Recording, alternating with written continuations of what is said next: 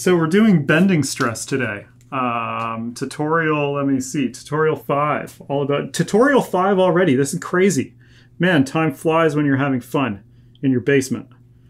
Um, seems like just yesterday we were doing this for the first time. Should stop looking at my uh, iPad screen and start looking at you guys out there. It's it's hard to get used to looking at uh, you know essentially nothing, just just a phone on a tripod. Um, so much more tempting to look at a screen. okay, uh, so hearing no other questions, how many people do we have with us now? And check it out. Oh yeah, we've got a whole slew of people. Great, 20 people. They're still coming. Okay, um, so like I said, today we're going to do a couple of problems involving uh, bending stress, and you'll you'll find that all of the problems now they're going to start becoming a little bit longer um, because everything that you've learned so far is going to be rolled up, start getting rolled up into single problems, and um, and by the time a couple of more tutorial problems go by, when we do one of the problems, it's going to encompass like the full learning of what you've done so far. This is why this course is so cool. Um, and, and engineering in general, you know, it really builds upon itself. So, you, you know, you, uh, you can't succeed with the latter stuff until you master the, the earlier stuff. Um, so it's, it's super important to stay on top of everything. Um, okay, so a couple of a couple of problems to practice uh, how to calculate um, bending stresses in uh, beams. Bending stresses are stresses due to internal moments. Okay, so I've picked uh, I've picked three problems to do with you today um, to help you understand this material a little bit better. So I'm going to throw the first one up on the uh, on the board here.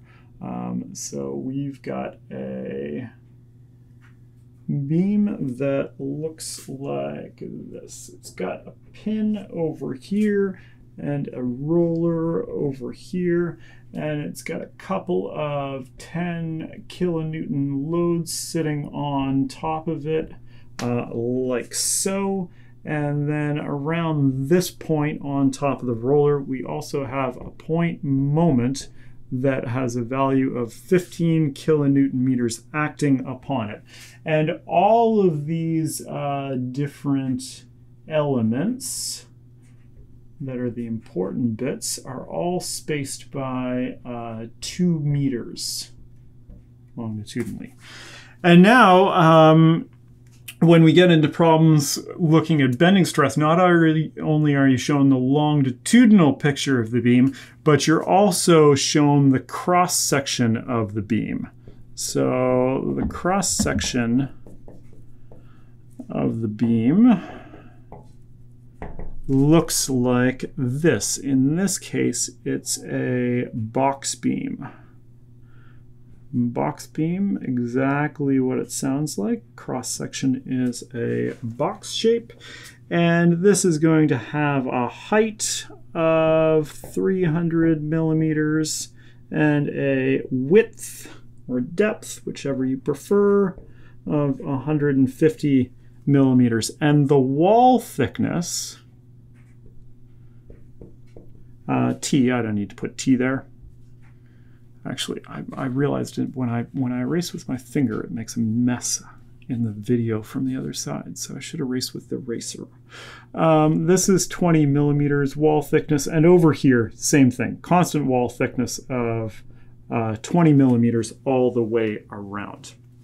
Okay, so here you've got the graphics for the problem.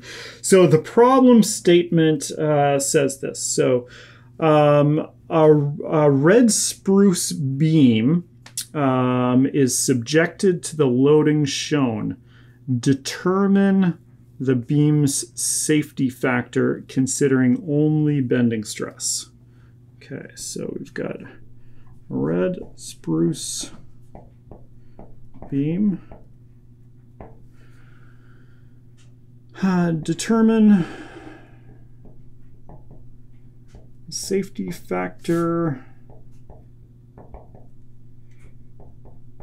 considering only bending stress. Okay, great. All right, so let's uh, let's talk uh, conceptually about this problem um, before we get started. Um, so we know what the equation is now for um, stress due to bending. We've got sigma equals my over i where uh, sigma is the normal stress caused by the internal bending moment m. That's the internal moment m that exists at some longitudinal position uh, of interest. Usually, because you're interested in the greatest stress, you want the maximum internal moment here. And y is the particular location within the cross section of the object that you're uh, considering relative to the centroidal axis of bending for internal moment m. And I is the moment of inertia about that centroidal uh, axis of bending. So in this problem, we want to determine the safety factor. Uh, we're told this is uh, red spruce, so it's uh, wood, and that means that it will have an ultimate strength, but not a yield strength, okay, because wood doesn't yield. Um, so what we're going to do is we're going to set the left-hand side of our equation equal to the ultimate strength divided by our safety factor, and then over on the right-hand side of the equation, we want the maximum bending stress within this beam. Okay, so to get the maximum bending stress, we want to use the maximum moment in this equation. Okay, so that's going to give us the longitudinal position where um, we are, or rather, the longitudinal position with the maximum moment is, is the longitudinal position where we'll be calculating the stress or determining what the minimum safety factor is. And then the distance y here. So for a box beam, right, the centroid's right in the center because it's a symmetric shape. And because the orientation of the beam is shown relative to the longitudinal picture of the beam like this, then the moments that are occurring are going to be about the horizontal centroidal axis. So axis, let's call it XX like that. So there's the axis that our maximum moment is acting about. Now, I've just drawn on the maximum moment acting in that direction as, as an example for what I'm talking about relative to this. That's not the actual direction that the maximum moment might be acting in. We'll figure that out uh, as we move through the problem.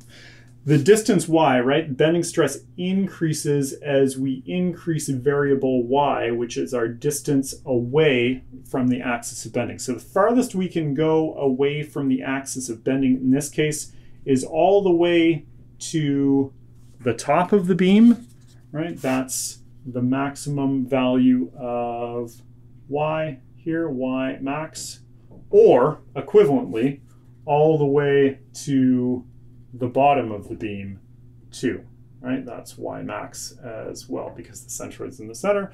Distance to the bottom is the same as the distance to the top. So the stresses on the bottom of the beam will be equal in magnitude to the stresses on the top of the beam because they're both uh, the materials the same distance y away from the neutral axis of bending. But uh, one set of stresses, let's say along the top, will be in compression while the other set is in tension or vice versa. Um, so we want uh, y max over here and then ixx um, down there. Okay. So we're, we're setting up our problem now. We've got a general equation that we, uh, we need to deal with. I is easy to find here. We know what y max is, half the height of the cross section, 150 millimeters. Uh, maximum moment in this equation, we're going to get that from our moment diagram, right? We'll draw the shear and moment diagrams here. The maximum moment gives us m max. And then the only other thing to consider is um, sigma u here. So if we talk about wood for a second, if, if you have a board of uh, a wooden board like this, Um, wooden boards are cut along the length of trees, right? Um, so the what's called the grain direction in the wood or the fiber direction is going to be roughly parallel to the length of the wood. Right? So this is going to be the the grain direction right there, also known also called the fiber direction. Um, now, if you look on the material property tables for wood, um, and uh, I'm just checking out my material property tables as well. You have a copy of it. But if you either on the metric or the um, or the U.S. side, it doesn't matter. But if you look at the um, the properties for wood, you'll see that there's a column for modulus of elasticity, and then three columns that give you strengths for wood when your stresses are parallel to the grain or parallel to the fiber direction. And then you've got another set of strengths for when stresses are perpendicular to the fiber direction. You can imagine that it's much easier to pull fibers apart from one another than it is to uh, stretch them longitudinally, right? So equivalently, if you look at the, the two last columns, the ultimate strength perpendicular to the grain, which are these ones, those strength values are much lower than the strength values uh, parallel to the grain. So in terms of bending, because the fiber direction is parallel with length, you always want to be using the strength values um, that are taken parallel to the grain. Okay?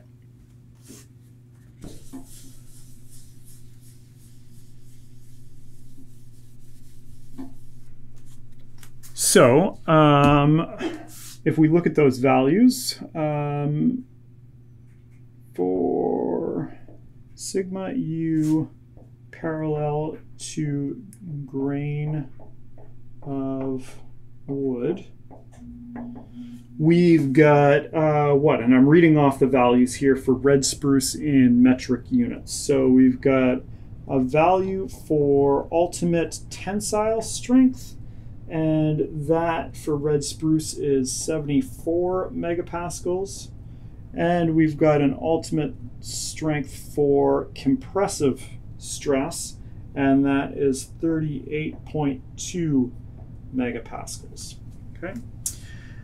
Now, again, on one side of the beam or on the top, we'll have tensile compressive stress, and on the bottom, we'll have the reverse. So if we have compressive stress at the top, we'll have tensile stress at the bottom. Tensile stress at the bottom, we'll have compressive stress at the top. Because the distance to the bottom or the top are the same, the magnitude of tensile and compressive stress will be equal. So what's going to be um, the limiting factor in terms of failure of this beam, or what's going to set the minimum safety factor that the beam has? Is it going to be uh, the tensile strength of the wood, or is it going to be the compressive strength of the wood? And the answer is the compressive strength of the wood, right? Because um, the wood is weaker in compression. Levels of stress are going to be the same tension and compression. So compressive failure is going to occur before tensile failure does, and it's the uh, compressive strength that will be the limiting factor. So if we take this equation down further, what we really want to do is the ultimate compressive strength divided by the safety factor, we're going to set equal to M max, Y max, over I x x. Okay? So that is the conceptual path that we need to take to solve this problem. Any questions about that conceptual piece before we actually start doing some math and drawing some shear and moment diagrams here?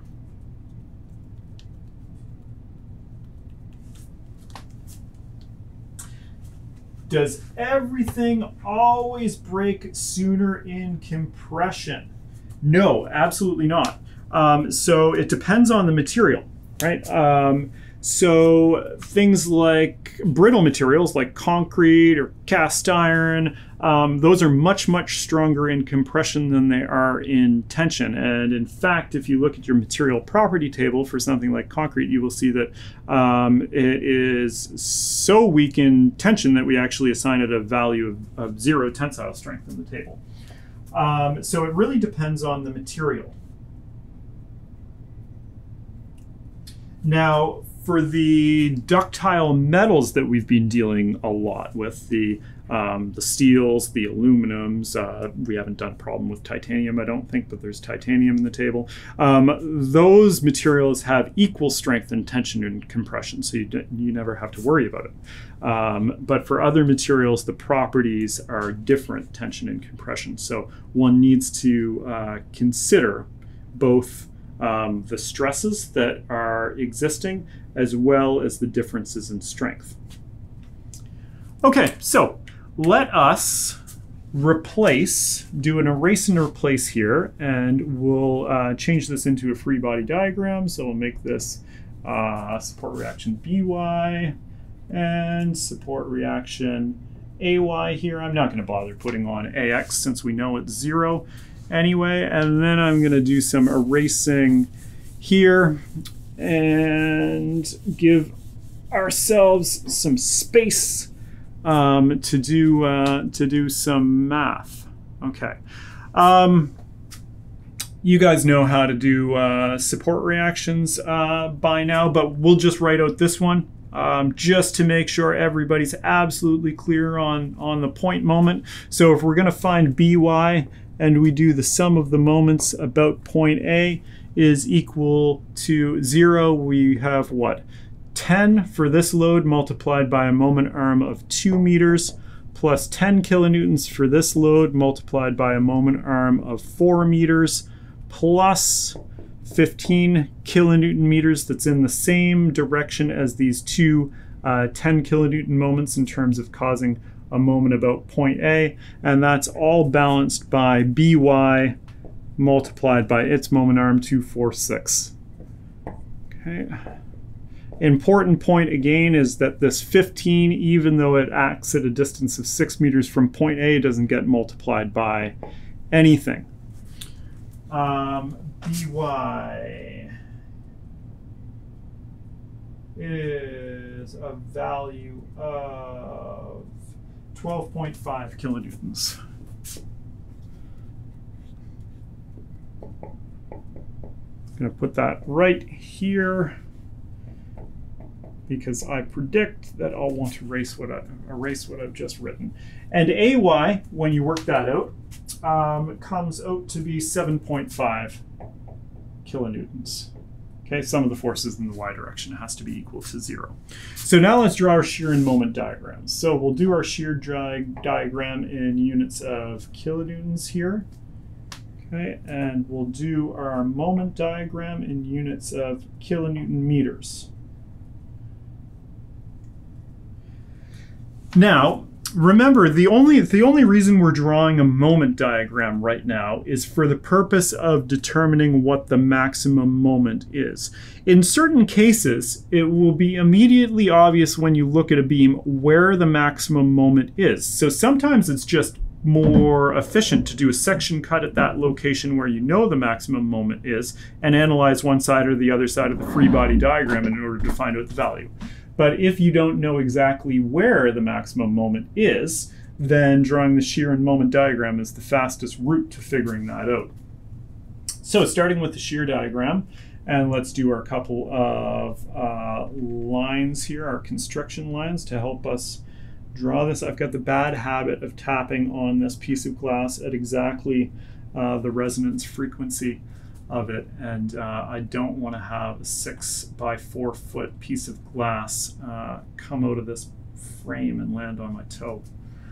Um, that would be that would be the end of the toe. Um, okay, zero. We're jumping up by 7.5 kilonewtons. There we go. That would make for quite a video. Professor drops giant sheet of glass on toe, toes severed, live on video. Okay, we're jumping down by 10 now, so that gives us minus 2.5. Uh, again, look at the distributed load, zero distributed load, zero slope, so we're going straight across. Uh, come to another uh, minus 10 here, so we're dropping down by another 10. That leaves us with minus 12 and a half. Then we're continuing over straight zero slope because there's zero distributed load, right? Hopefully now that you guys have done the problem set, uh, for the last one, you're getting the hang of drawing these shear diagrams and the moment diagrams fairly quickly. We're at minus 12.5. We jump up by 12.5. That brings us back to zero, exactly where we should be getting to. So we'll shade this in uh, like so. There we go. All right, now we can draw the moment diagram. So let's put the start and the end points. We know we have to start and end at zero here. Um, only one point moment at the end, so we know there's going to be a vertical jump. Is that a question, or are you just chatting on, on the other end there? You've been here, have you?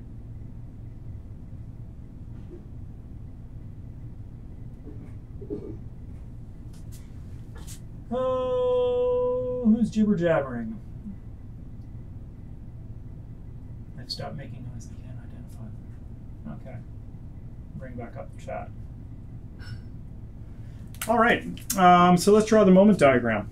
Um, so constant positive values means that we're going to have a constant positive slope for the moment diagram like this.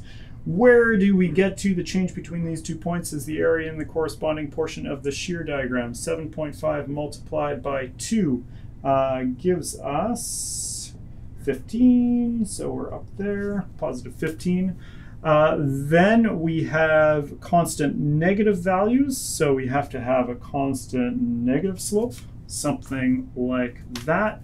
Uh, where do we get to here, well, we take our starting value, 15, and sub or add on the area in the corresponding portion of the shear diagram, right? So that's 15 plus minus 2.5 multiplied by 2. Plus minus 2.5 multiplied by 2 gives us 10. Uh, 7.5, uh, this point right here. Yep. So that that point should be the area within this portion of the shear diagram. So 7.5 by 2.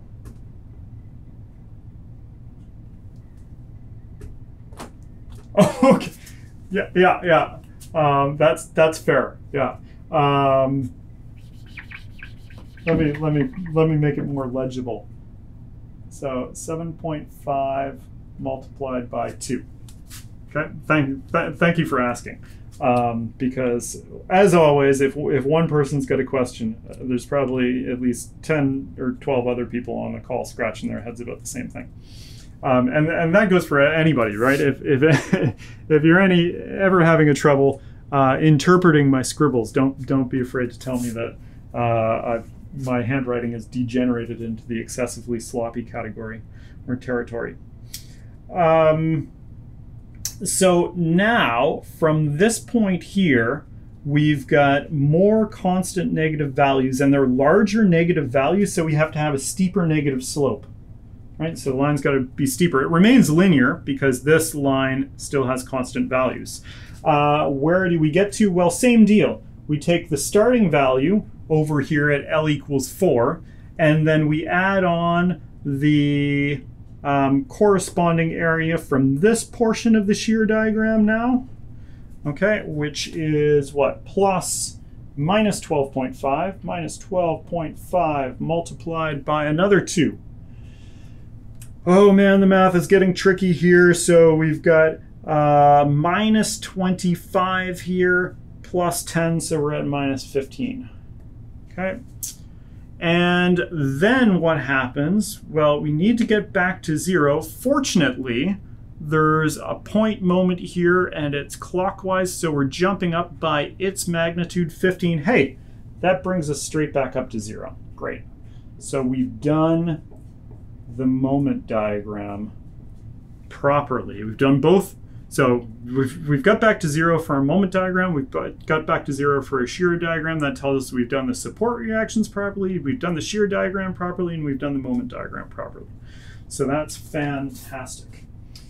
Um, now we can clearly see where our uh, maximum moments in this case are, right? We've got two maximum moments. We've got 15 kilonewton meters over here, and we've got 15 kilonewton meters over there, right? So looking at this beam, right, if you just looked at it, you'd have a hard time probably determining where the maximum moment is going to be just just looking at it. Um, but by drawing the moment diagram, it becomes really obvious where the maximum moments are. Um, right, in this case, it doesn't matter whether we use the maximum moment over here, here at L equals 2 or the maximum moment over here, L equals 6. Let's talk about those both for a second. So let's talk about at L equals 2 right? If we took a section cut at L equals 2 and drew one half of that beam, okay, here's the rest of it going off in three dimensions now. So here's point A over here, and our section surface is this surface right here. Here's our centroid, here's our centroidal axis of bending. Which direction is this maximum moment in at this location uh, L equals 2 meters. Right? If, you, if you're thinking about this, um, what you need to remember is the convention that we established where positive internal moments place the top of the beam in compression or they bend beams into a smiley face. So positive internal moments bend beams into a smiley face where they're placing uh, the top of a beam under compression and the bottom of the beam in tension. So this is a positive internal moment, so it must be placing the top of the beam in compression. So the direction of the internal moment is like this. Uh, M equals 15 kilonewton meters. Okay. If we look at the um, other maximum moment, right, on the other uh, end of the beam, and if we draw the same sort of drawing here, so now we're way over at the other end of the beam where point A is way over here now, and this is L equals 6, right? This is all cut section. Um, here's our centroidal axis of bending. Over at this side, the maximum moment is in the other direction. Why? Because it's negative, so it's placing the bottom of the beam in compression and the top of the beam uh, in tension. All right, um, so let's return to our equation here and actually go ahead and solve it now. And I'm just going to erase this and then I'll check to see if anybody's put a question into the chat. Leave that up there because we'll need that number. Hey, no problem. Um, was there an actual uh, another question there? Okay. All right. Um, so let's take this. So we're taking this equation now, and I'm bringing it back up, and we're going to fill it in. Okay. So we've got the compressive strength of the wood is 38.2 megapascals. So we've got 38.2 times 10 to the 6 to put that into units of pascals. We've got our safety factor down here, which is what we're looking for. Our maximum moment, again, it doesn't matter which you use. And when you do um, a stress equation like this, you want your uh, maximum moment as a positive value. So we're going to put in uh, 15 kilonewtons, 15 times 10 to the 3. Your distance y, again, it doesn't matter if you are looking at um, the compressive stress down here, right? So this is the maximum, sorry, That's the tensile stress for that direction of moment. Right, so in this cut section, the compressive stress, this is going to be sigma max compression, right? Because the direction of that internal moment is taking the material on the top of the beam and pushing it in on itself and taking the material at the bottom of the beam and pulling it out. You can imagine taking this cross section here and rotating it about the centroidal axis in the direction of internal moment M, right? Pushing in on the top, pulling out on the bottom. And here, the compressive stress is down there, the maximum compressive stress. Sigma max compression, right there. And uh, the distance y is the same for either of those scenarios. Uh, in either case, it's half the height of the cross section. So we've got 150 millimeters, 0.15 meters, divided by IXX. So here we're doing 1 12th, and then uh, our base for our external, right? So our external base, base is always the dimension that is parallel to the centroidal axis that you're considering. So in the problem statement, that was listed as 150 millimeters. So 0.15 multiplied by the height cubed, 0.3 cubed, 300 millimeters. And then we're subtracting off the same 1 12th base height cubed for the inner portion of the beam that's missing. So we're subtracting 1 12th base height cubed for the gap portion in the middle. And I think I said that the wall thickness here was, say, 4 millimeters? No, I said 20 millimeters. Right, this was 20 millimeters. So um, I've factored out my 1 12th here, so now I'm putting the base for the inner, so that's going to be 150 millimeters minus 20 on this side, minus 20 on this side, leaving me with 110. And then for height, I've got 300 minus 20 minus 20, that's 260 cubed, and then my curly bracket to close that, that's cubed there. There we go. Okay, so that's your equation that allows you to solve for what the smallest safety factor is in this beam here under this loading situation, okay, which is which is the smallest safety factor, and something is always the safety factor that's interesting because that tells you how close uh, an object is to failing. So when I did this, I got uh, 2 point, what did I get? 2.98? 2.98. Right.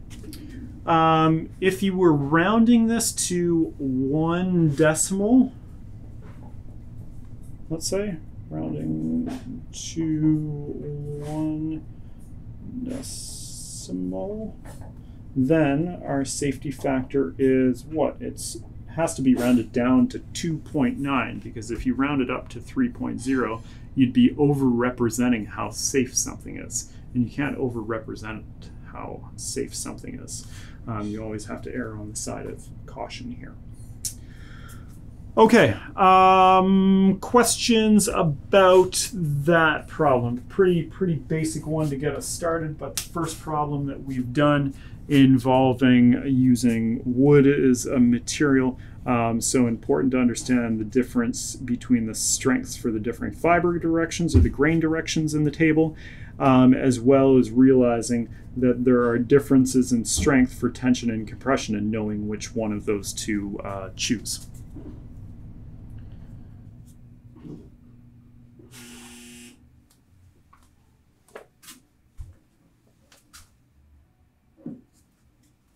Okay, I'll do uh, I'll do a little bit of racing here.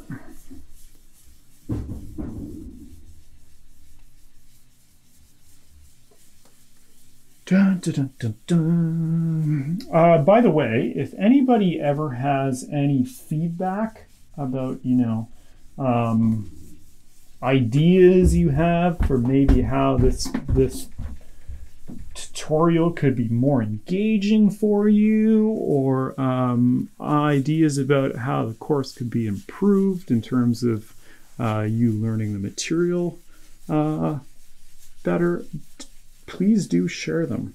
I'm always looking to make improvements to the course. So a lot of the a lot of the elements from this course came directly from feedback from people just like you right, who are sitting there doing this material and thinking about ways that the learning experience could be better. So, for example, the textbook. I wasn't going to write a textbook for this course until somebody suggested that it might be really helpful. And then I started thinking about it, and I was like, yeah, I'm really upset that students have to pay $250 for a textbook and they only have to use like a third or a quarter of it for the course. It would be nice if there was a textbook specific to the course, right? So, so improvements happen um, when you uh, when you flag them. Um, okay, let's go on to the second problem. Okay.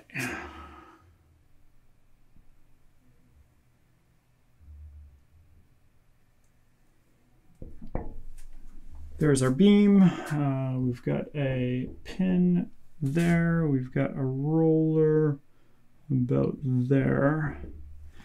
And we've got a distributed load that's sitting from the end to the pin like this. Value of 45 kilonewtons for every meter of length. One big load right in the center with a value of 100 kilonewtons and another distributed load that's a little bit larger than the one on the left, whose value is 60 kilonewtons per meter. And then some distances would be uh, helpful. So what have we got? We've got three meters, eight meters, and another three meters. Okay, the cross section for the beam looks like this. The beam is a channel section. Channel is a cross section that looks like that there. Can be one way up or the other way up. Um, and the total height of this channel section is 300 millimeters and the total width is 450 millimeters. This distance is 40 millimeters there, and this thickness here is also 40 millimeters. Okay, so let's see what the problem statement says. Channel beam is designed with a safety factor of 2. So the design safety factor is 2.5. 2.5. I, I think I said 2, but it's 2.5. Uh, when loaded as shown, determine the maximum stress due to bending within the beam. Um, so what we want is sigma max due to bending.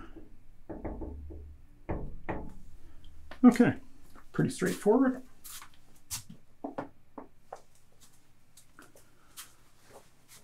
All right, so we're talking about bending stress again, of course, because that's the theme of today's lecture or tutorial, whatever you want to call it. Uh, this learning opportunity that you're engaging in.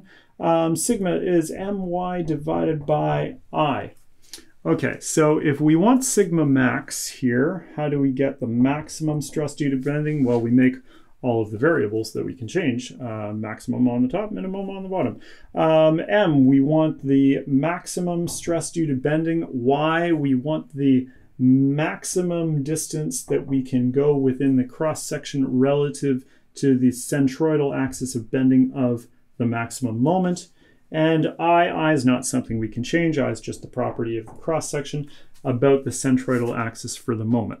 Okay, so if we look at the shape of the cross section, this channel section here. Okay. if if we had this extra bottom piece to make it a box beam, right, then the centroid would be uh, right in the center. But we don't have that material there. So the absence of that material means the centroid moves upwards. So the centroid location is closer to the top than it is to the bottom, right? So here's our centroidal axis of bending. The farthest distance perpendicular to that line that we can go is all the way down to the bottom of the cross section, right? So this distance here is y max right there, that distance there. And all of the locations at the bottom of the cross section there, those are going to be the locations of the maximum tensile, or not maximum tensile, too early to say that, the maximum stress due to bending within the beam. Okay, whether it's tensile stress or compressive stress remains to be determined from the um, the sign of the maximum moment in the moment diagram. Okay, so uh, we know what we need to do for maximum moment. That's just drawing the moment diagram. We know uh, what we have for y max. For i, here we're going to want i xx. In order to get ixx, right, we can't use simple superposition for this shape because it's not symmetric about our centroidal axis of bending.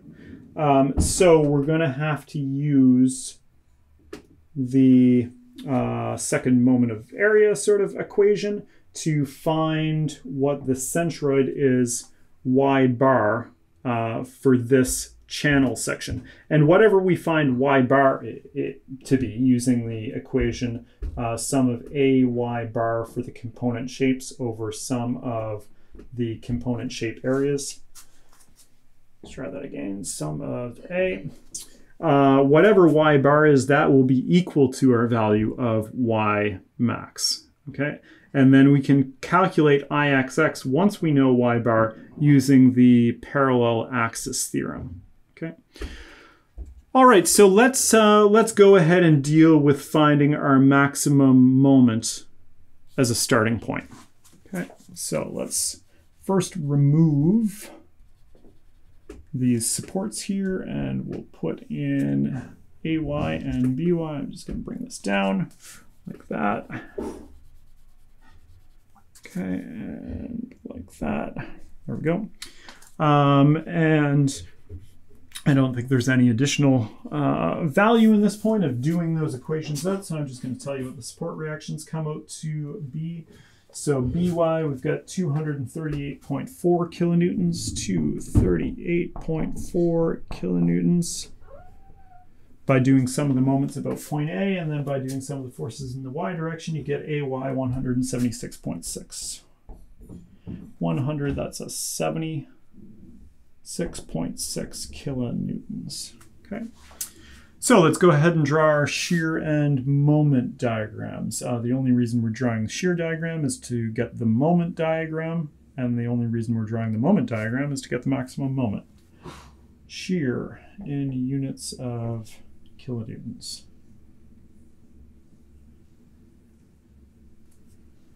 Moment in units of kilonewton meters. Okay, continue this down like that, down like that, so on and so forth. There we go. Okay, here we go. Start from zero.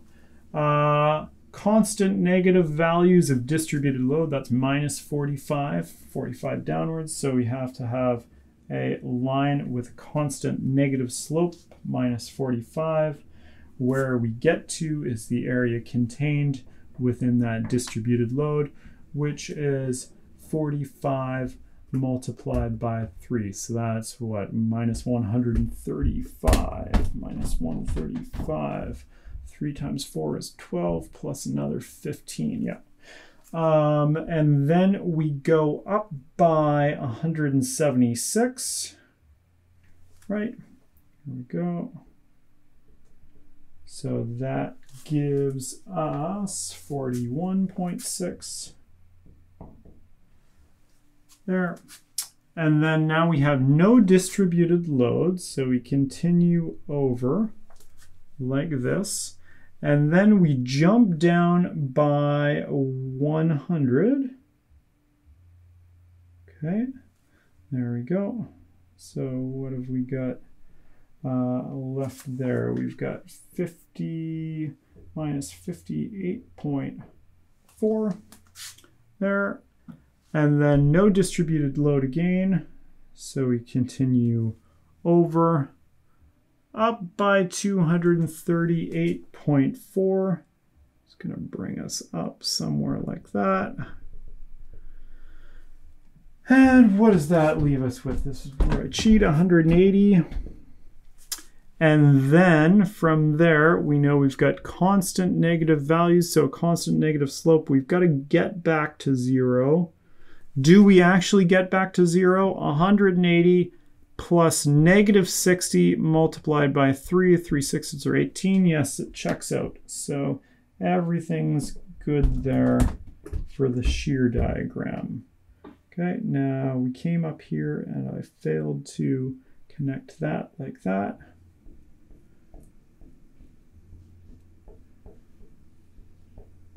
All right looking good. Um, moment diagram.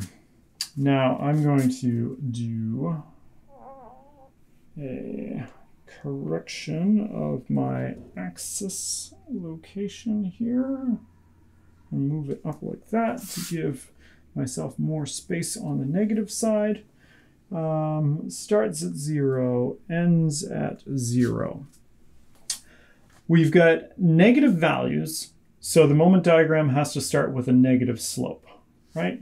Um, the values become larger negative numbers, so the slope has to become a steeper and steeper negative slope. So we have something that starts off as a low negative slope and becomes steeper and steeper like that. And I'm going to, I'm going to do the, the drawing first and then we'll calculate the values, okay?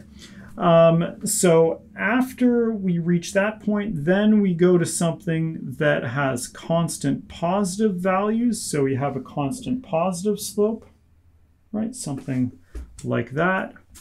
Then we have constant negative values.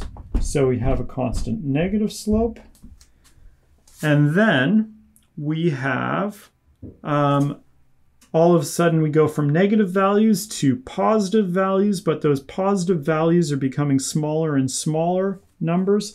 So our positive slope needs to start steeply because this is a large positive number. And then it needs to get to be a smaller and smaller positive slope. So something like that. Okay. So let's let's go ahead and calculate the values now. So this value down here the change from zero to that value is going to be equal to the area within the corresponding portion of the shear diagram, right? So we've got one half our base three and our height of that triangle uh, 135, right, for that.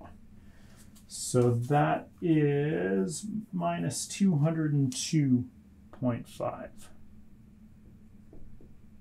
Okay. And then to get this value here, this value right here, we're taking the starting value, minus 202.5, and adding on the area of the corresponding portion of the shear diagram. So this is this area here. So we've got plus 41.6 multiplied by, this is supposed to be in the very center. By the way, I didn't uh, write that on the diagram, but that should be four meters there. Um, so we've got 41.6 multiplied by 4. So that's going to give us 36.8 2 minus 36.2. 36.2. And then for this value here, we're just taking our minus 36.2, and then we're adding on the corresponding portion, corresponding area under within the shear diagram. So that's minus 54 multiplied by another 4. 50, 58.4 multiplied by 4. All right, what did I get when I did that? Minus 270. Okay. So this point here, that point here is our maximum moment M max. It's a really ugly call out annotation. There we go. Okay, so we figured out what the maximum moment is, right? So now, um, if we think about the direction of the moment at that location, based on the sign of this moment is the top of the beam or bottom of the beam in compression.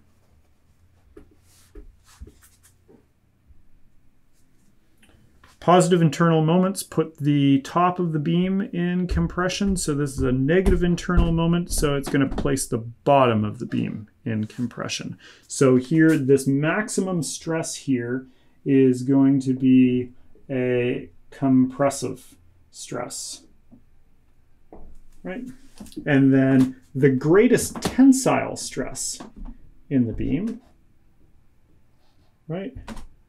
Here is going to be at the top. Now, the value of the maximum tensile stress is not equal to the value of the maximum compressive stress because the distance y bar here, the distance y max here, is not the same as the distance y from the centroidal axis to the top of the beam.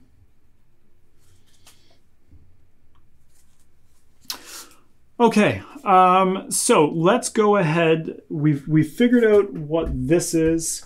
Uh, we can get y max by figuring out y bar, so that's the next thing to do there. So let's go ahead and figure out what, um, what our value of y bar is. So we do that by using the equation sum of a y bar over sum of the areas where we're breaking our object up into um, component rectangles, right? So here I'll break this object up this way. So we've got one piece like this, piece one, and then we've got two other rectangular shapes, um, piece two and piece two, right? So uh, for area one, that area is what 450 multiplied by 40 and i'm just going to use units in millimeters for uh, this part here. So 450 multiplied by 40 and then y bar for shape one. Y bar you need to measure um, the centroidal axis of the component shape you're considering relative to the datum that you're using for the whole shape. So I always take my datum as the bottom of the cross section. So this distance here is y bar 1, or y bar for shape 1, y bar 1. Um, so that's going to be 300 minus, what, 20, uh, 280. So we've got 280, okay? And then we add on the same thing, a y bar, right? This is a1, uh, a1, y1 bar. Same thing for shape 2, but there's two of these guys, so we have to multiply the whole thing uh, by 2. We just do one of them and multiply it by 2. So we've got 40 multiplied by 300 minus 40, so 40 multiplied by 260 here. Okay, probably going off the board um, a little bit. So let's just shift things over a tiny bit. So y bar equals sum of a y bar over sum of a equals, uh, what do we have, 450 multiplied by 40 multiplied by 280 plus 2 times 40 multiplied by 260 multiplied by y2 bar, right? This distance here, y bar 2, y2 bar, um, half of 260. So we've got 130 here. And then we do the sum of the areas down here. So we've got 450 multiplied by 40 plus 2 times 40 multiplied by 260 down there. And that will give us our value of y bar.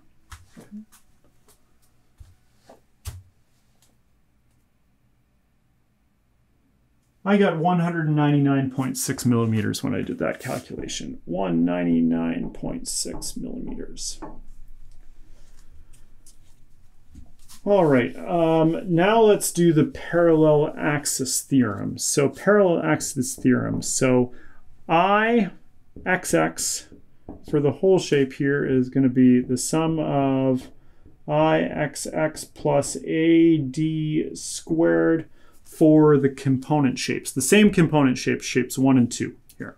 So we're just breaking things, we're just breaking things up with these two equations into shapes where we know the centroid location for those shapes. So for Ixx for shape number one, we're calculating I for shape number one about its own horizontal centroidal axis. So that's 1 12th, the base is 450, and I'm going to switch to doing this in meters now so that my I value comes out in meters to the fourth. Um, and we want meters for our stress equation or equation for bending stress. 112th base height cubed. So the height is 40 millimeters, 0.04 meters. Cube that plus add on the area 0.45 multiplied by 0.04 and then the quantity d squared. The quantity d squared is the distance between the centroidal location for the whole cross section and the centroidal location for the component shape that you're considering. So here's the centroid. Just do there's a hollow circle there. There's the centroid for the whole cross section. So this is y bar overall, which is our 199.6 millimeters. Our distance d here for the first shape is the distance uh, between the centroidal axis for the component shape we're considering and the centroidal axis for the whole cross section. So that is relative to the datum, which was the base, measuring all the way up to the centroid for shape 1 was 280 millimeters. And to get the distance in between here, we're subtracting the height of y bar. So here we want uh, 280 minus 0.1996 and then square that difference. And then we're adding on the same thing for the second shape, but there's two of them. So we need to multiply the whole thing by 2. And we've got 1 12th now just for one of them, 1 12th base the base in this case is the 40 millimeter distance, so 0.04. And the height is, we already said 260, 0.26, cube that, add back on the area, 0.04, 0.26. And our distance d squared is the distance between these two centroidal, horizontal centroidal axes. Okay, so we go all the way up to y bar and then take off y2 bar to get that distance d. So we've got 0.1996 minus 130, 0.13, and square that. And then we'll close our curly bracket like this. Okay, so that's going to give us our value of i. 3.367 times 10 to the negative 4.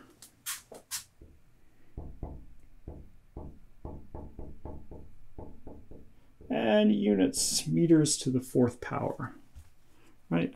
Meters cubed, meters to the fourth. Okay, so let's go ahead now and do our equation for maximum bending stress. Now that we've got all the components that we need to answer that question. So again, we're saying sigma max is going to be equal to the maximum moment, maximum value of y divided by m max, y max divided by ixx. Maximum moment was 270 units of kilonewtons meters. So this goes in as 270 times 10 to the 3 to put it in units of newton meters. Maximum value of y, we're going from the centroidal axis all the way down to the bottom of the cross section. Uh, 199.6 meters divided by our value of ixx. 3.367 3.367 times 10 to the minus 4 meters. Okay. All right. Uh, let's see what we get. 160 megapascals.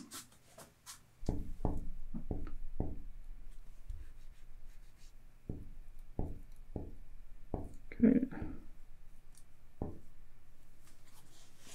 All right. Questions about that one from anybody? Anything that you didn't follow? Anything that you uh, missed while you were writing things down and you'd like me to go over again?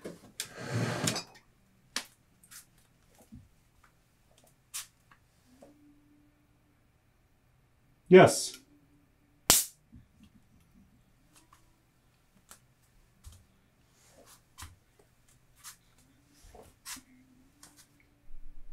Uh, up, up. Yeah. This value, 280. Yeah, and 130, sure. Um, so if we just do a quick erase here to give ourselves some space. That's a good question because I'm sure one of your colleagues is wondering the exact same thing. Right. Um, the total height here was 300 millimeters, and this distance there was 40 millimeters. Okay. So we're breaking it up into two pieces. Okay. This for this first piece here, this is this is uh, A1, and then this is Y bar 1 here. Um, for Y bar 1, right, so this, this shaded shape is our area uh, A1. And Y bar 1 is the distance between the centroid of that shape and our reference datum, which we're taking to be the base of the cross section. So this distance here is y bar 1. So the 280 comes from just taking 300, which is the distance from the datum to the very top, and then subtracting half of the thickness of this top piece here, which is 20. So that gives us 280 there. And then the 130 is exactly the same, but for the second component shape that we were doing over here. So we wanted uh, y bar 2 here. So we're taking this height here, which is 300 minus 40 gives us 260 millimeters, and then dividing that by 2 because we know that for this shape, the centroid is going to be exactly in the center. So this is the 130 there. Is that helpful?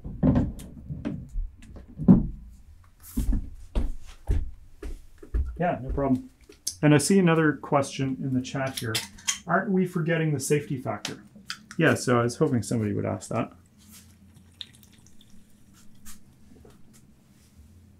We were we were told in this question that the beam was designed with a safety factor of 2.5. Right? And what the question asked us was what's the maximum stress due to bending within the beam, right? What the maximum stress is within the beam under a given loading scenario has nothing to do with the safety factor. So that's just an extra piece of information that's actually not relevant to our calculation, right? Um, the beam could have been designed with whatever safety factor, but that doesn't change what the actual stress within the beam is. Unless, of course, the stress is so high that given the material of the beam, uh, the beam would, would be broken. Um, but um, I let's see here. Yeah, we're not told anything about the material. Um, so again, a piece a piece of information that was given that isn't relevant to um, to the actual uh, quantity that we were asked for in the problem. I didn't hatch this uh, moment diagram.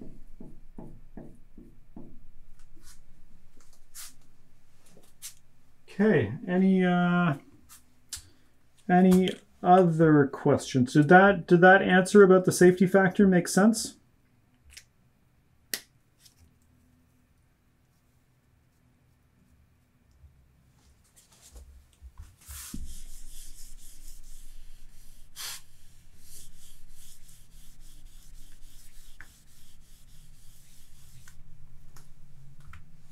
Okay. Uh, not seeing any other questions about this problem, so we'll do some erasing here and we'll move on to the third and final problem for you.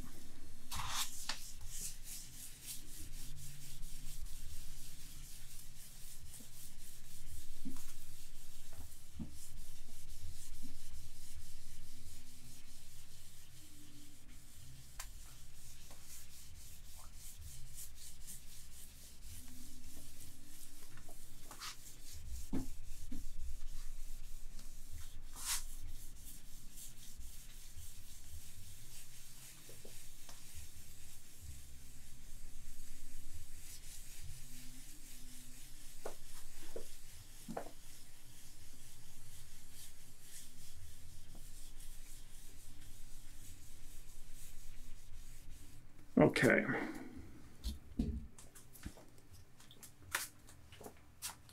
Let's check this third one out.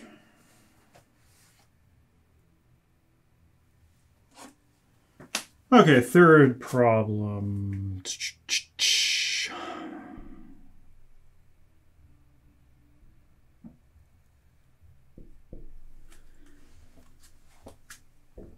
Pin over here roller over here. And we've got a uniform distributed load over the entire length. Four kilonewtons per meter. Man, all these all these SI problems today. What is up with this?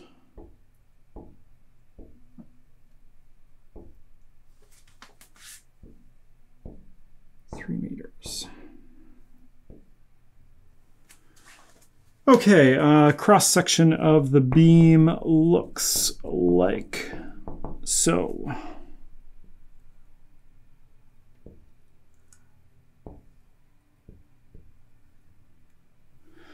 So it's an upside down T-beam here, and we've got what?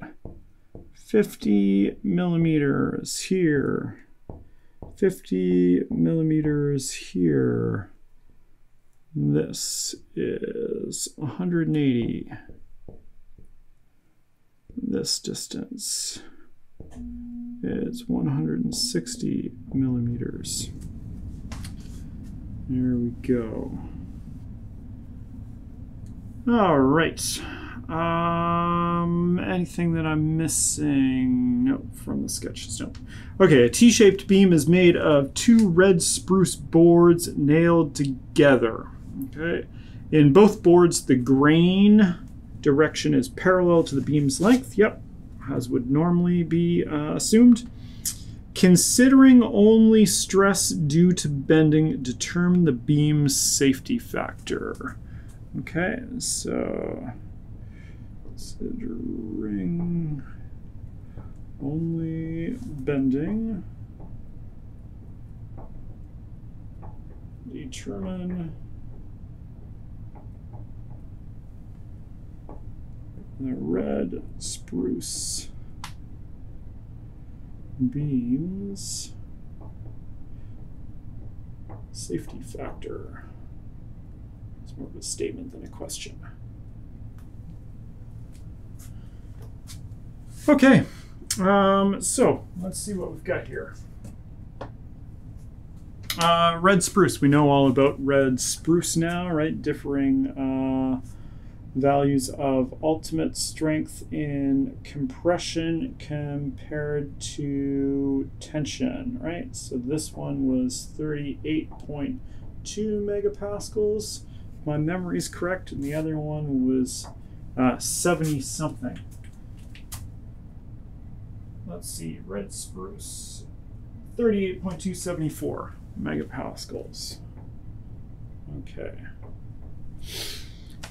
All right, um, so the equation that we're going to be using again is the ultimate strength divided by our safety factor is going to be uh, our maximum moment, maximum value of y divided by i here.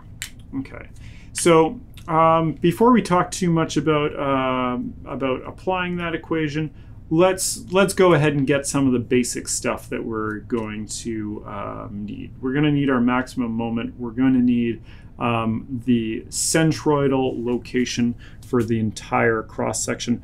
If we're measuring our um, location of the cross section centroid relative to uh, the base, which I like to do, um, but you can measure it from the top if you want, um, then the centroid is closer to the bottom than it is to the top.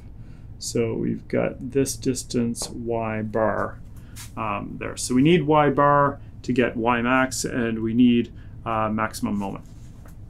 Okay, so let's um, let's change this to a free body diagram and draw our shear and moment diagrams to get the maximum uh, moment. So we've got AY here, and we've got BY uh, there.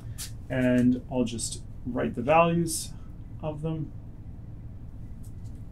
on because you're all great at doing uh, support reactions.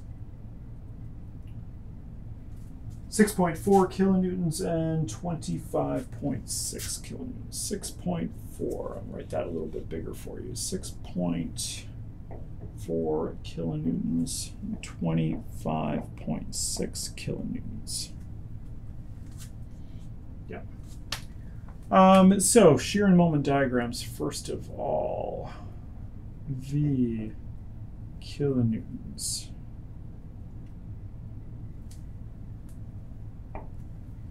Moment, kilonewton meters.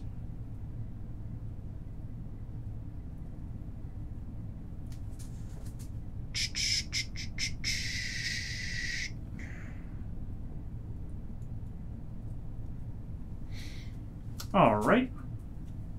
Ah, shear diagram starts at zero, ends at zero. First thing we do is jump up by 6.4 because of support reaction AY. Then we've got uh, constant negative values of distributed load. So we have a constant negative slope like this. Where do we get to?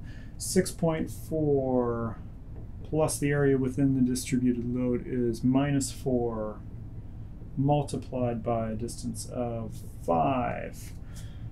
Uh, that's minus 20, so 13.6 negative 13.6 there. And then we jump up by 25.6. There we go. So adding on 25.6 to 13.6 gives us positive uh, 12.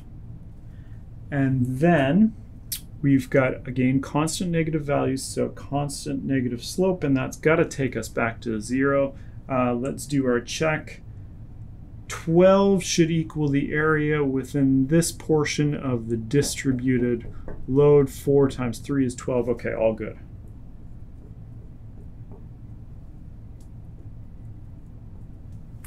All right, perfect. Now, again, move this line up a little bit here. There we go.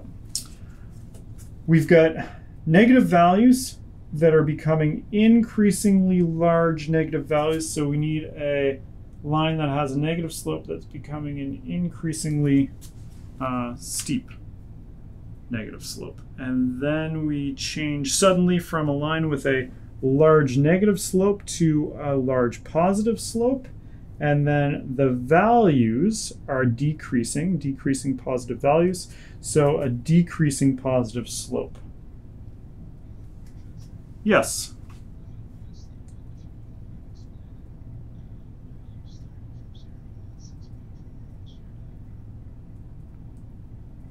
Uh, ooh, yes, I should have started from uh, minus 6.4. Thank you. Um, yeah, we jumped up to 6.4 and then I drew this line, but I should have been drawing it from up there. Yep, thank you. So what would have happened uh, here when I did this calculation is if we if we calculated the areas of these two, right, they wouldn't have uh, they wouldn't have taken us back to zero. So then it would have been an indication that we had done something wrong. But thank you for that. Uh, thank you for that important observation. Okay, let's try that again.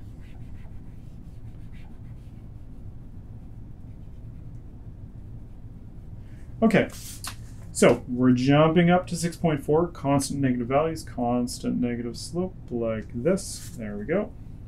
Okay, um, and then let's do, let's reevaluate where we get to here.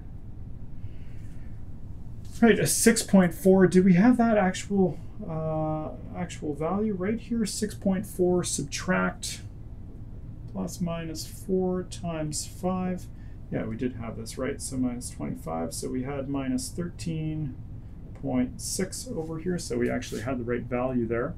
Um, and then we jump up, by, okay, so we had, right, okay, so we had the right value here, but we had the, uh, the wrong line shown for it. Okay, there we go. Thank you very much for, indicating for pointing that out. Okay, um, so let's mark off that point because we know that's going to be a special uh, location there. We're going to have a slope of zero, so um, a local maximum in this case at that location. There we go. Okay, so for drawing the moment diagram, look at the shear diagram, okay? And we've got no point moments acting along the beam, so you can draw the moment diagram only by looking at the shear diagram. So we're going to start at zero on the moment diagram, and we'll see if I can, I can draw this one correctly the first time. Uh, we've got positive values starting off, so we have a positive slope starting off here. And then we've got decreasing positive values, so you have to have a decreasing positive slope. So something that uh, goes like this, that actually looks like it has a maximum before it reaches that dashed line. Try that again, something like this. Okay. And then the values turn negative, right? Negative values that are increasingly large negative numbers, so a negative slope that's becoming increasingly steep. Now, again, there's the question of do we cross the x-axis, don't we cross the x-axis? Again, look at uh, having to end at zero and the values just preceding zero here, it's a positive value. So that means at this location here, we need a positive slope. So we need to be coming into zero with a positive slope. Okay, so that means we must be coming in from below the x-axis. So this must drop down below the x-axis like this, and then we have a line like this coming back in, right? Decreasing positive slope, decreasing positive values, okay? So two uh, moments of interest here, M1 and M2, right? Not clear which the largest of those are. Okay. Um, so for um, moment M1, let's uh, let's get that first. So in order to determine moment M1, we need the area of this triangle here, right? The value of that triangle is going to be equal to the value of m1. Easiest thing to do is just write an equation for this linear line and uh, set it equal to zero to find that point there. So in the form for a straight line, here we have y equals mx plus b, or v equals ml plus b in this case. Uh, we've got our slope. We know what the slope of that line is because the slope's the value of the distributed load. It's minus 4 L plus the y-intercept, which is 6.4. Right? And we just set this equal to 0 and solve for L.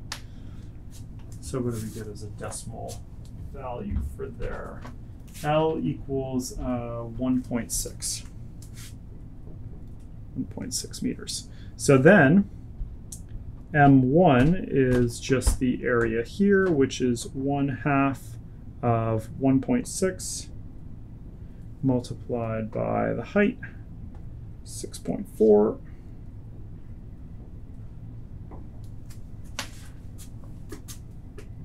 Gives us 5.12.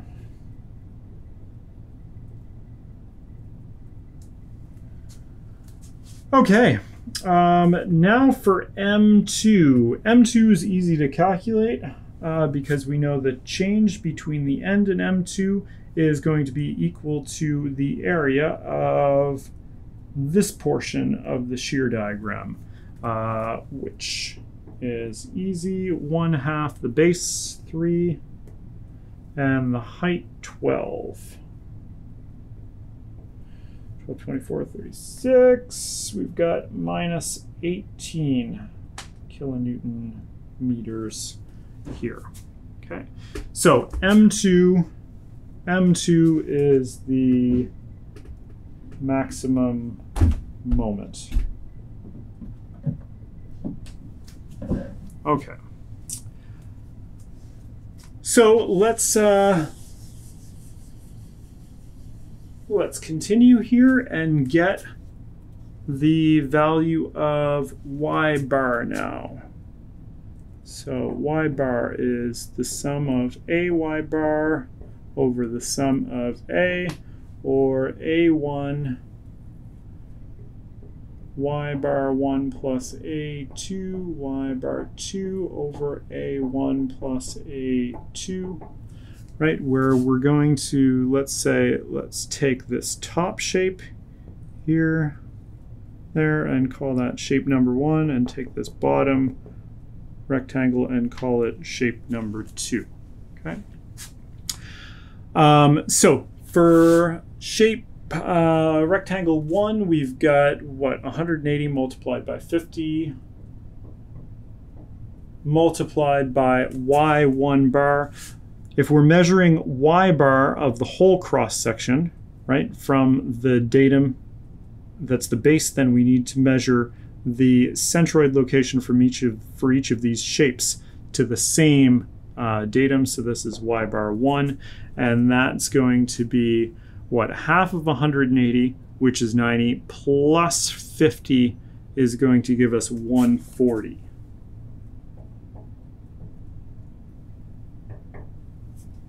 And then we do the same thing for rectangle 2, the base piece. So we've got 160 multiplied by 50 multiplied by the distance from the base to the centroid of that component shape, which is 25. And then we'll divide that all by the summation of the areas. So both have a common thickness of 50, so we can factor that out and add up 160 plus 180 here. Okay. So that's going to give us, let's see, um, what do I get when I do that? 85.9 millimeters.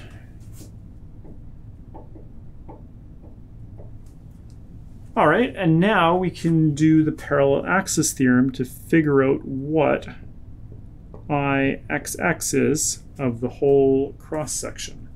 So we've got Ixx is equal to the summation of I plus AD squared, right? This n term here uh, being added into the simple superposition to account for the fact that the centroidal axes of these component shapes are at different vertical locations compared to the centroidal axis of the whole shape. So for the first, uh, the upright piece of the, the T, um, we've got 1 12th, I'm going to move this over a little bit, 1 12th base is 50 millimeters, height cubed 0.18 cubed plus the area 0.05, 0.18, and then our distance d squared, which is again the distance, this is d1, um, the distance between the centroid for shape 1 and the centroid for the whole cross section. So we've got up to that centroid was 140, uh, 90 plus 50, 0.14. Subtract the centroid height for the whole cross section, which we said was 85.9, 0.080, and square this.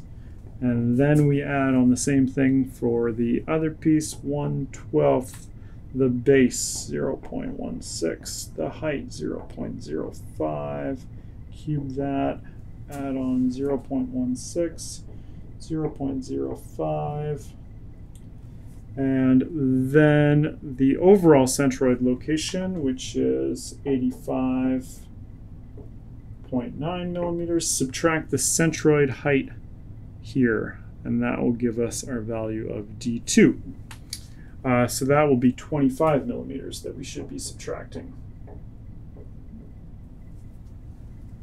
Okay.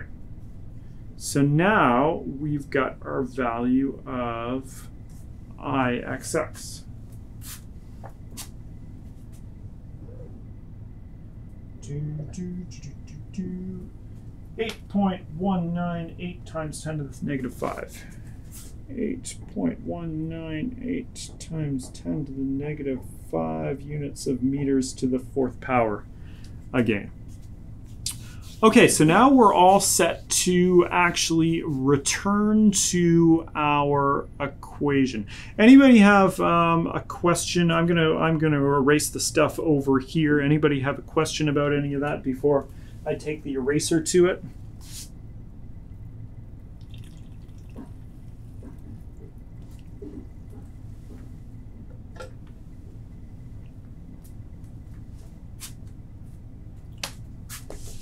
All right, let's do it. Let's wipe it clean.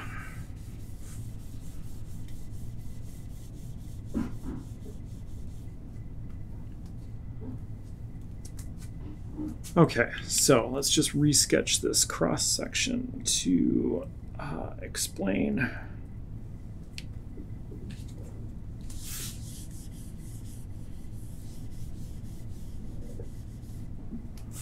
All right. So here's the centroid of the whole cross section. Uh, it's at a location of 85.9 millimeters from the base. That's Y bar.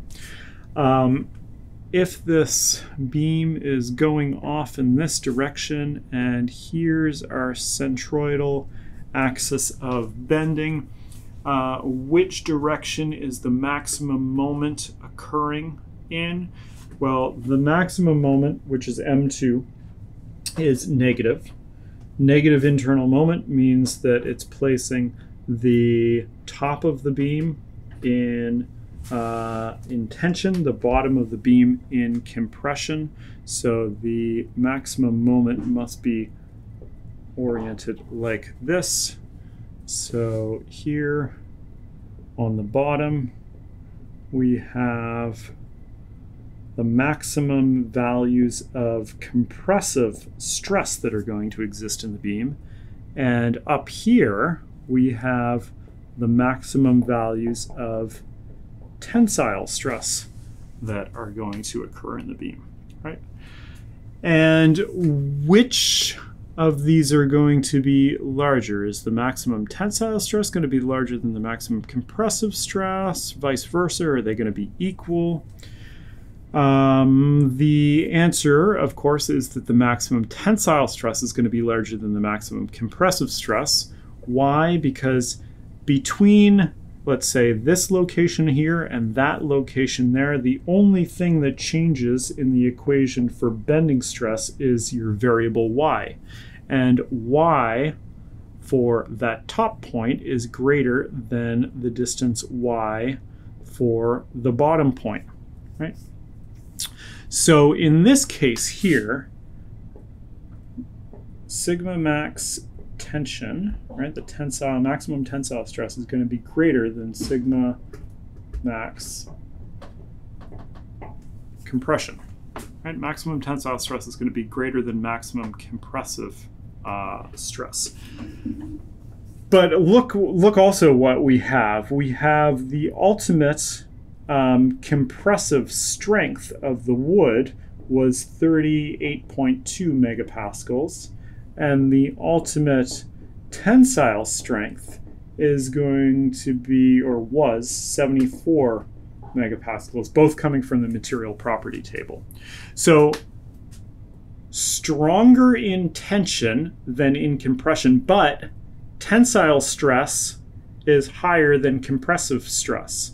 So it's not clear, right, whether or not the beam is going to fail or have the limiting safety factor due to the compressive stress or the tensile stress. So we'll calculate the safety factor for both tensile stress and compressive stress and compare the two.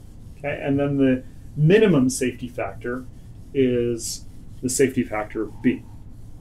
Okay. So, uh, for tensile stress, let's do tensile stress first. Okay. So we're going sigma u tension divided by the safety factor, right, for tensile failure is going to be given by m max and then here, this distance is y max here, right? That's the largest distance of y we can go. That's the distance y for the greatest tensile stress. So we have y max over here, and then we have ixx. Okay, so let's put in our values. We've got 74 megapascals times 10 to the 6 divided by our safety factor for tension equals our maximum moment, which was 18 kilonewton meters. 18 times 10 to the 3 multiplied by the maximum value of y, which is the total height of the cross section, uh, which I need to refer back to the diagram for. So that was 180 plus 50 is 230. So we've got 230 millimeters. Okay, that 230 comes from uh, this total height here was 230 millimeters originally. So 230 minus 85.9. Okay, gives us y maximum then divided by IXX, where IXX is this number here. 8.198 times 10 to the minus 5. Okay. So from this, we can get the safety factor for tensile stress. Let's see what I got. 2.3. Okay. Now let's do the same thing for compressive stress. So for compressive normal stress, we've got ultimate strength in compression divided by the safety factor for compressive stress is the maximum moment because we're calculating the stress at the same longitudinal location. Um, then here, the distance y is going to be replaced by y bar because that's the farthest we can go from the neutral axis of bending to the bottom. Right. The material that's in compression farthest away from the neutral axis of bending lies at a distance of y bar from the centroidal axis. And then we have IXX, same value again. So let's put in our numbers. So we've got 30 8.2 megapascals times 10 to the 6 divided by our safety factor for compression is going to equal the maximum moment 18 times 10 to the 3 18 kilonewtons multiplied by y bar 85.9 millimeters divided by IXX same number 8.198 times 10 to the minus 5. So plug and chug that. Uh, safety factor in compression came out to be 2.02 for me. All right, so um, overall, what is the uh, safety factor of the beam? Safety factor is the smaller of those two, right? So the um, minimum safety factor is established by looking at compressive failure of the wood. And so we've got 2.0 for a rounded number for that. All right. Um, nothing in the chat there. Um, questions about that problem there?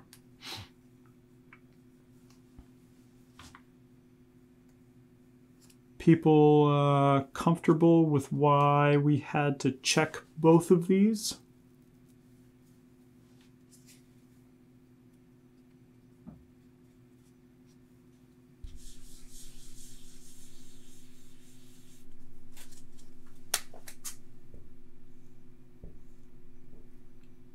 If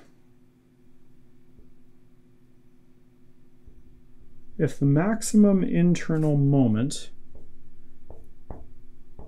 had have been in this direction instead of this direction. Then would you have to check both locations?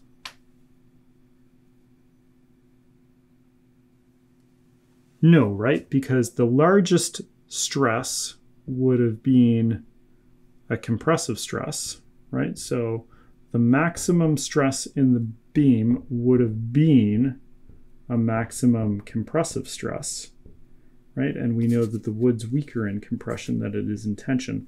So in this case, you'd only have to check the safety factor um, for compressive stress.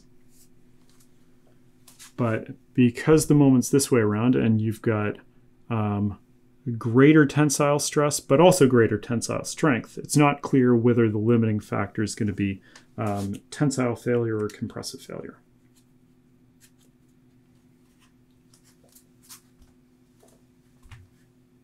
Okay, so those were the problems that I had uh, I picked out. So those will set you up very well to do the um, problem set for this week. Um, and bit of extra uh, review there on shear and moment diagrams for you if you haven't done the quiz already uh, for tomorrow. Um, so I'll stick around and answer questions as people are leaving. And uh, for those of you who aren't sticking around for any questions, um, have a great uh, rest of your week.